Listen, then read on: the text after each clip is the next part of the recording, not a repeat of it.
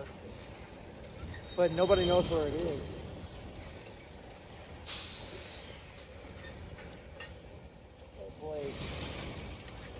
Oh uh, windmill train near somewhere near West Poland.